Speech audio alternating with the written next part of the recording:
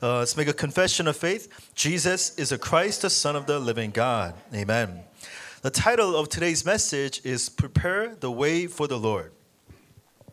Uh, you know, in many things, when you uh, prepare for something that you enjoy, it's a joyful time. You know, uh, when I cook sometimes, knowing that I'm cooking for the loved ones and for our friends and guests, you know, I like the process of just cooking and preparing knowing that the people will enjoy my food. I know that sometimes uh, seeing my children, they know they're going to, to someplace fun, right? And uh, just packing the, the bag and just knowing that they're gonna go to this fun place. For them, it's an enjoyable time just thinking about it. But at the same time, when you when you when you're prepared for something that you're not so enjoying, right? Uh, it's not so enjoyable, is it? Right? I tell my kids that get up in the morning, let's prepare to go to school. And what, how do they move? Uh, they barely get out of the way. Uh, mom comes, hey, wake up, let's eat. Still in the bed. Five minutes later, wake up, let's eat. Still in the bed. And the voice goes higher and higher, getting angrier and angrier. Um, you know, preparing the way for the Lord is today's title. God says He wants you to, for you to truly be prepared to be used by Jesus Christ. Amen. Amen we are right now is worship time is a time we are being prepared so that we can be used as a disciple to save the 70 disciples in the field. Amen? This is a time when you need to truly enjoy this worship.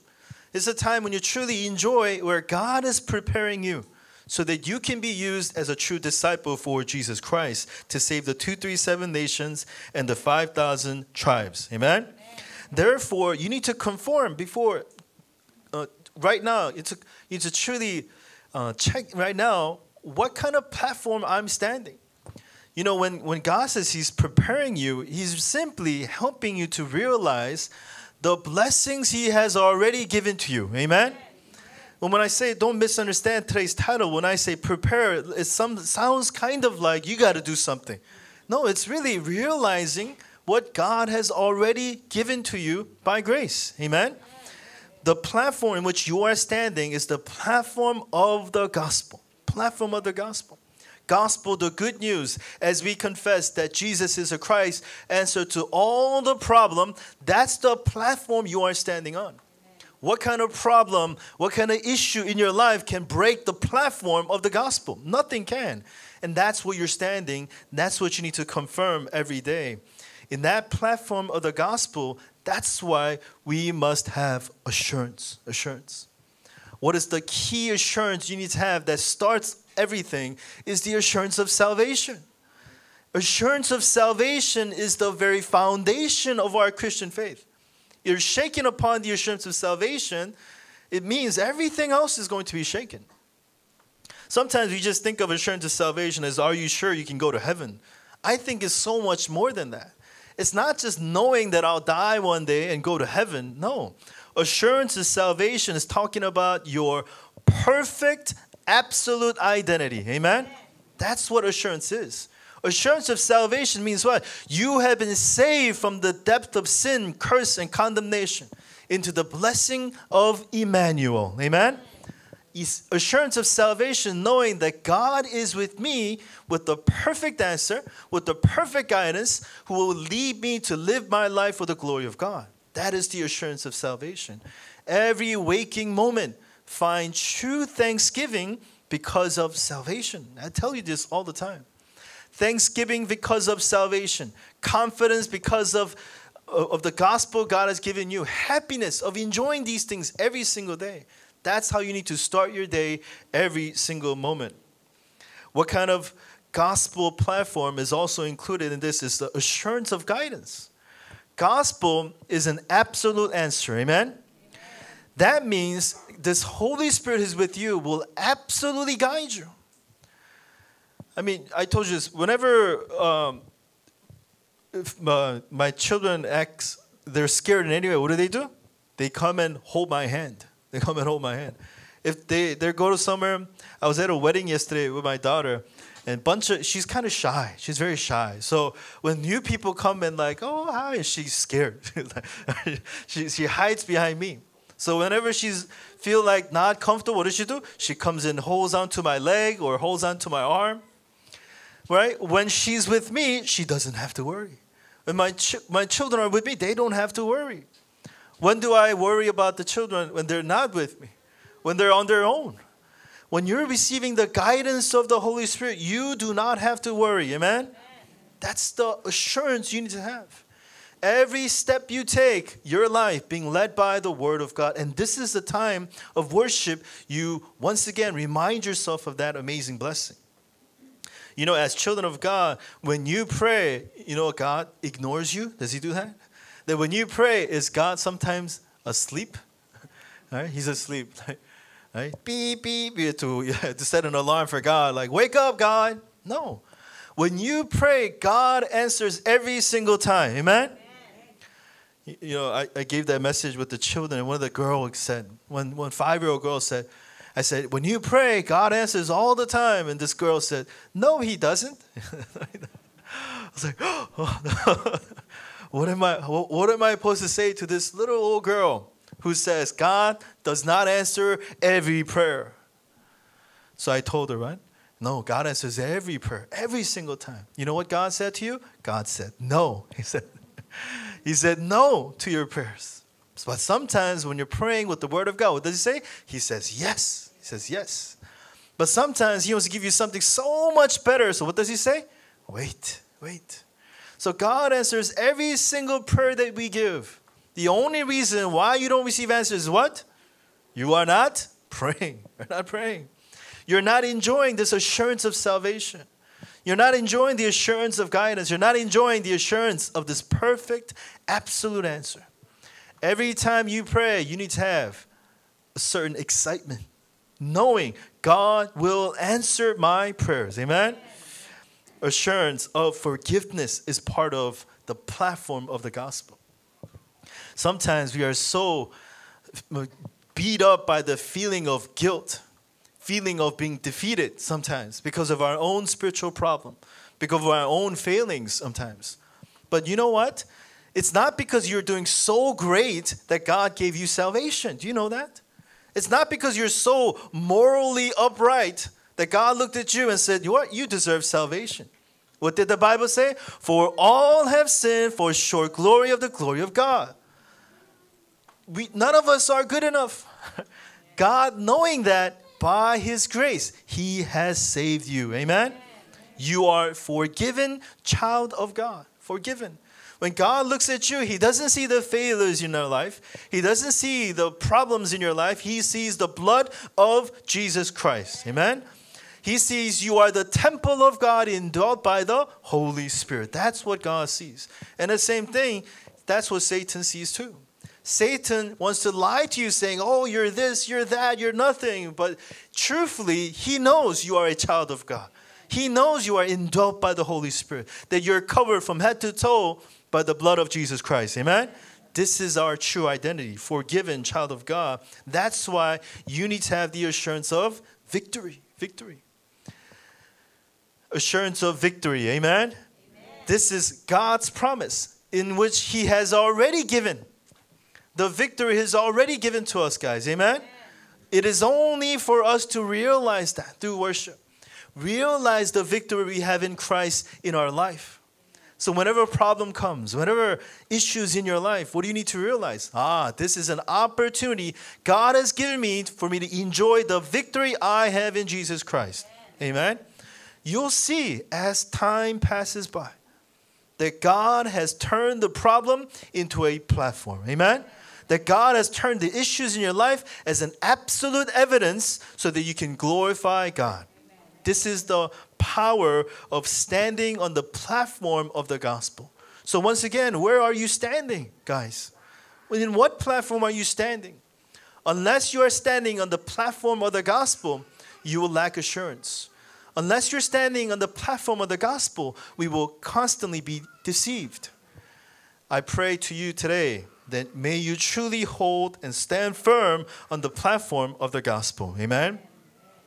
Today, as we are continuing our study in the book of Luke, we're finally introduced to the role in the ministry of the John the Baptist.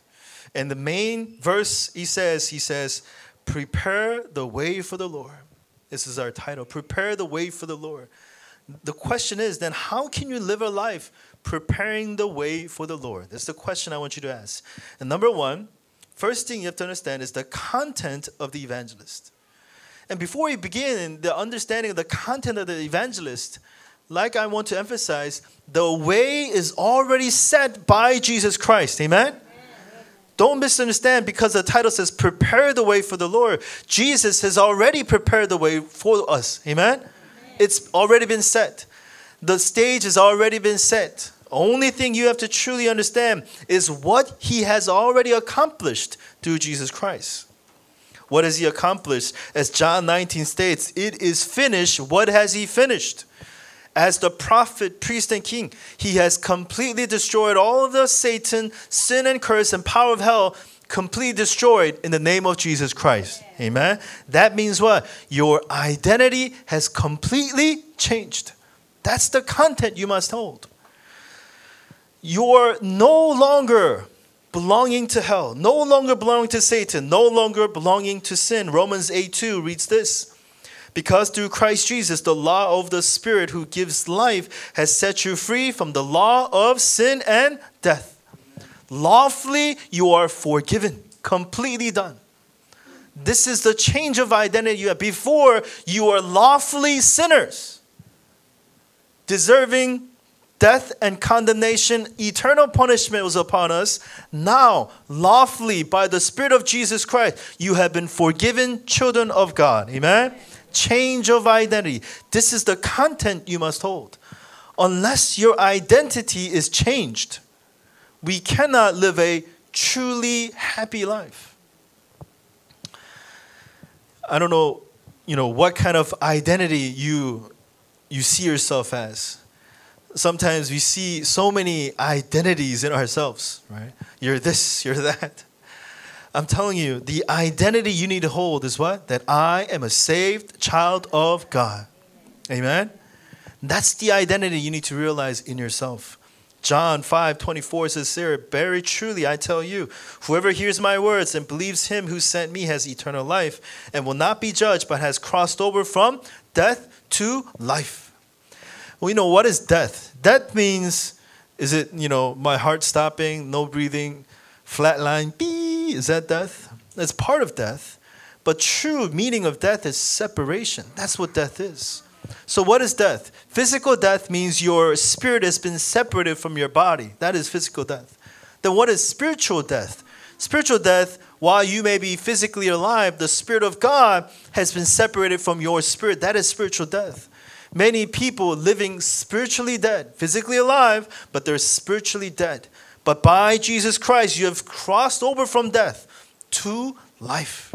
The Holy Spirit gives you absolute life. How blessed you are, you guys are. We need to truly find absolute thanksgiving every single day because of this perfect identity that God has given you. I mean, who deserved this life? Who of you sitting in this room deserves this life. I'm here to say, none of you, including me, none of us deserves this life.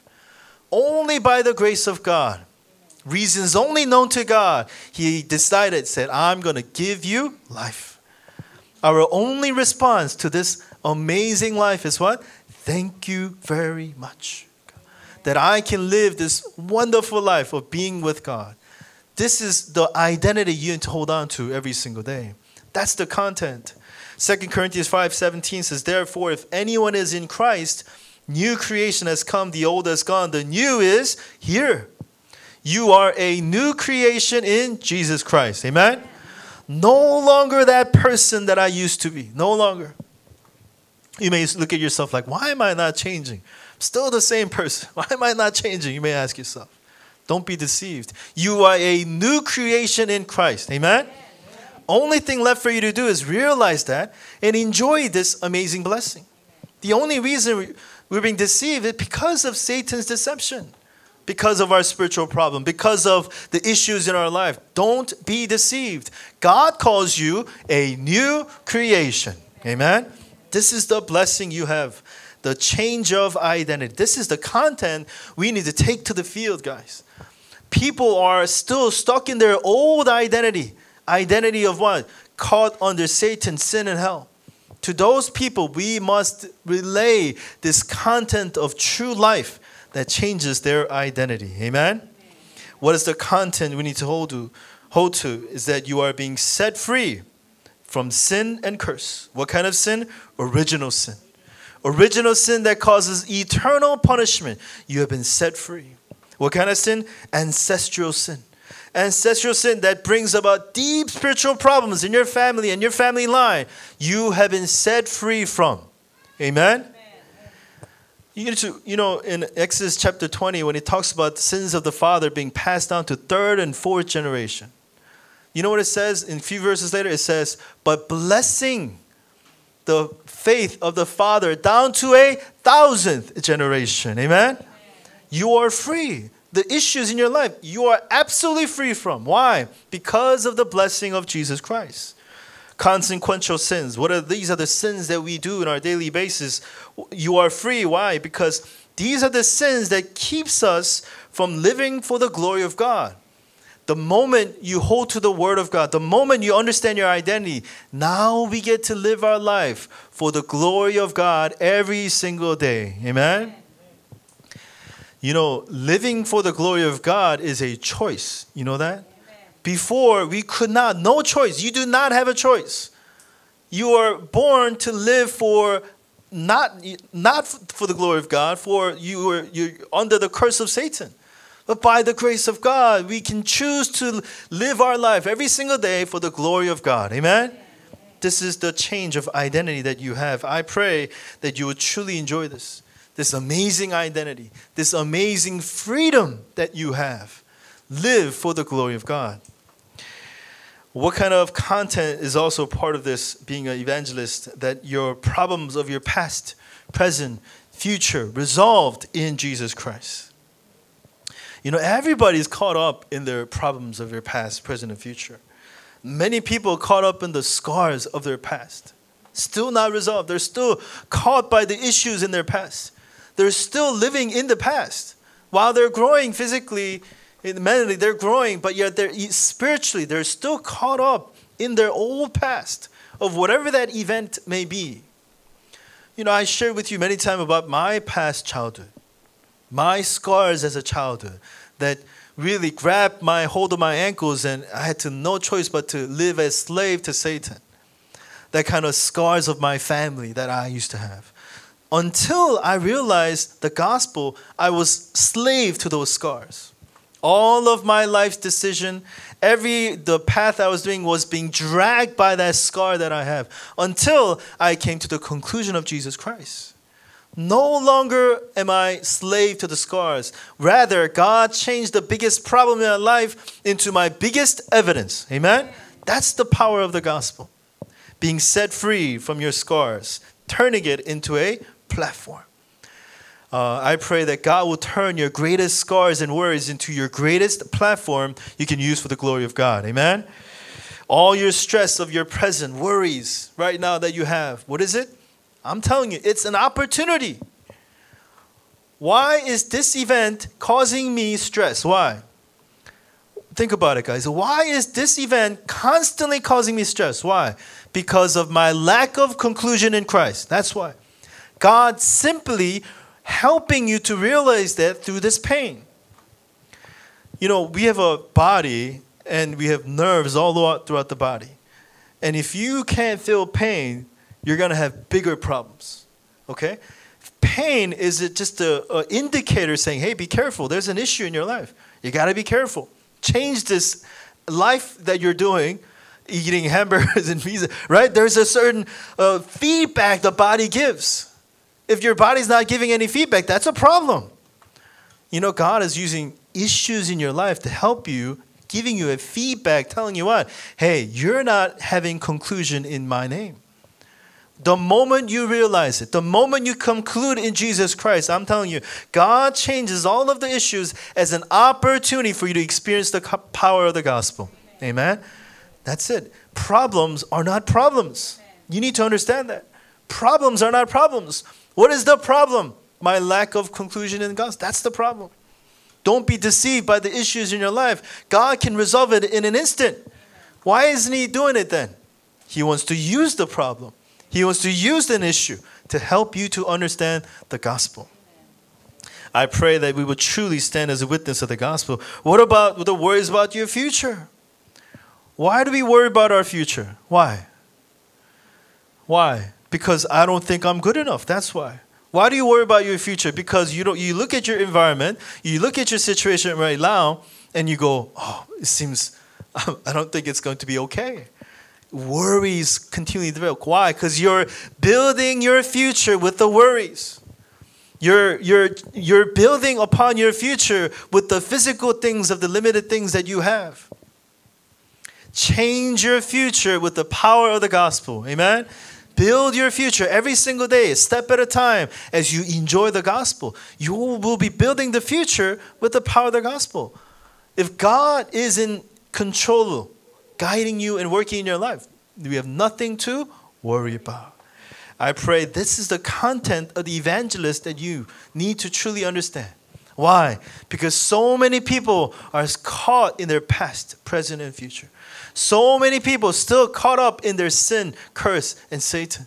So many people still stuck in the old identity they cannot be set free from. We, as the evangelists, need to proclaim this content of the gospel in the field that God has sent you. Amen? the content of the evangelist that you must understand. Now that we know the content, what is today's point? He wants you to, number two, live out the role of the evangelist. As we said, we're looking at the story of John the Baptist.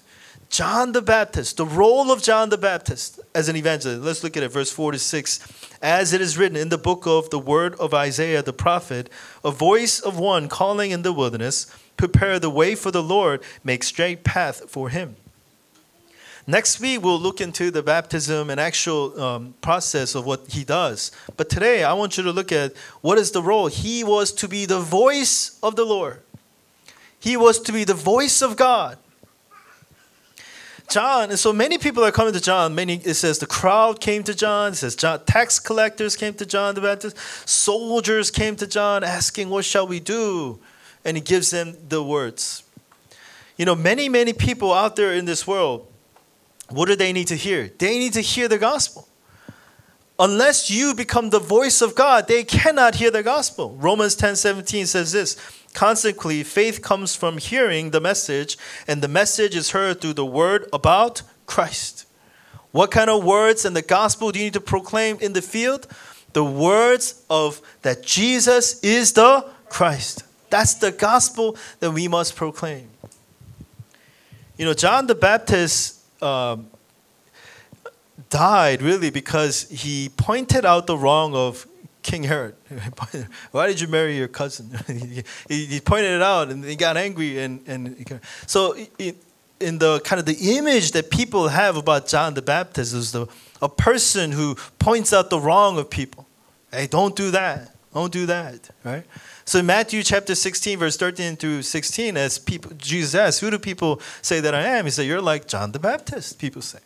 Right? That's the image that people had about John the Baptist, image people had about Jesus, that he's carrying out the kind of like John the Baptist. What do we need to proclaim, guys? We need to proclaim the one and only true answer that Jesus is the Christ, answer to all your problems. Amen?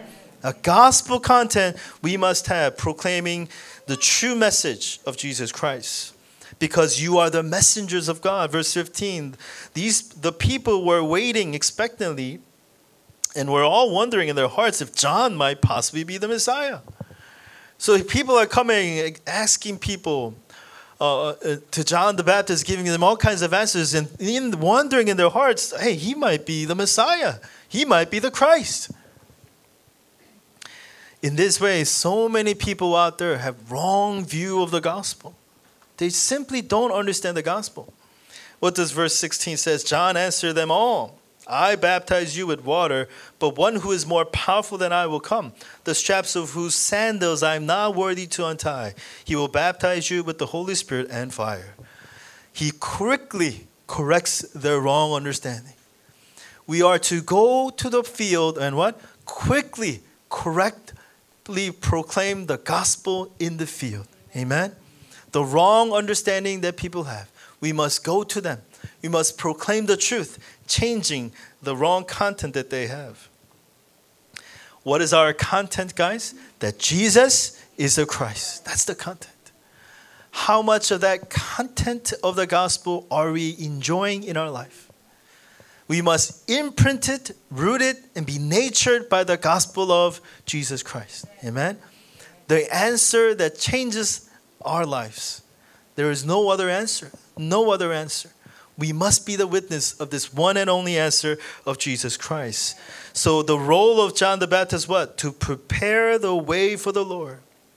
And like I said, continually, Jesus has already prepared the way for us. Amen. So to prepare the way for the Lord is simply walking the path that Christ has prepared for us. That's it. That's how you prepare the Lord. Meaning, for you to first enjoy what Jesus has already prepared, for you to be the witness of Jesus Christ to all people, all the fields. That's the kind of witness you need to be. When people look at you, they need to really see the power of the gospel in your life. Amen? I pray that you will be a witness of this power of the gospel. That is how you prepare the way for the Lord. Don't be an obstacle along the way of the Lord. Amen? Don't be a wrong turn in the way of the Lord. Amen? Amen? Let us become the way that leads people to the way of the Lord. So today we're hearing the message called Prepare the Way for the Lord. Therefore, you need to understand the correct content. Therefore, you need to live out your role of the evangelist. What's your role? Proclaim. Know the content, proclaim the content. Amen? That's how you live the prepare the way for the Lord. So in conclusion, in doing this important work of the Lord, we must restore spiritual strength. If we are not spiritually strong, we cannot walk the way for the Lord. We cannot prepare the way for the Lord. Um, you know, parents need to be strong. It says, being with a, a newborn here today, uh, small, tiny baby. uh, you know, you know, I remember having my first child. It's like something you can never prepare yourself for. they, they, the babies, the newborns, they don't, they don't, they don't listen to you. Everything they do on their, you know, when they're hungry, they cry. They wake up whenever they want, or they're fussy. You know, your life is now centered on their time schedule. you know, it's like everything changes. Uh, I remember, you know, in my firstborn, I would wake up with the with my wife and help her then, then the second one came, I just kind of slept. Third one came, it's like everything. You know, you got to have strength as a parent. You got to have strength as a parent. And the same thing for every one of us, you know, not just a parent. As you live your life wanting to live for the Christ, if you don't have spiritual strength, I'm telling you, it's impossible. Impossible. So you got to gain spiritual strength. And when we're enjoying strength, when we're talking about strength, prayer must be the center of our strength. Amen? prayer that is connected to this power of the gospel, prayer that is connected to the word of God, that prayer brings the establishment of the throne of God where you stand. Amen? That's the experience you need to have. Wherever you go, you experience the establishment of the kingdom of God in your field. Wherever you go. I mean, what's the conclusion of the establishment of the kingdom of God? It is the spiritual change that takes place angels, force of darkness being broken down wherever you go. Truly experiencing that. In yourself, in your field, in your church, the kingdom of God being established in your field. Amen? Wherever you go, being filled by the Holy Spirit, living your life, connecting everything through prayer, through the Word of God, and experiencing the power of the gospel taking place in your field. Amen? you are called to prepare the way for the Lord. Amen? Amen? A way that God has already prepared. You simply walk that path so that others can truly see how blessed of a path that the Lord has given to us really is. Amen? Amen. You are walking it first so that others can follow. Amen? Jesus prepared, completed for us. You walk down it first so that others can follow you and truly live their life in glorifying God in the path every single day. Amen. Let's pray. Heavenly Father, we thank you for the message you've given to us. And you bless our brothers and sisters in this place to truly live their life, preparing the way for the Lord, being a witness of this gospel, so that they can be leaders of leading others into this path of this perfect uh, answer that you have given to them. Thank you so much. We pray all these things in the name of our Lord Jesus Christ. Amen.